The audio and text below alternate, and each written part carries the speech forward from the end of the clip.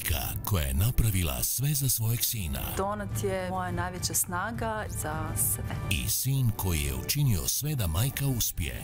Mama je davala sve od sebe da mi ništa ne fali. Stvorili su proizvod koji ih je zbližio.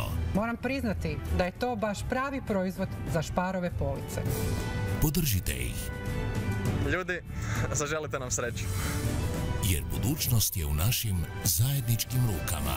Startaj Hrvatska u subotu u 18.15 na Novoj TV.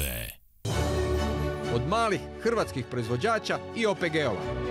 Da, domaće. Špar, Interšpar.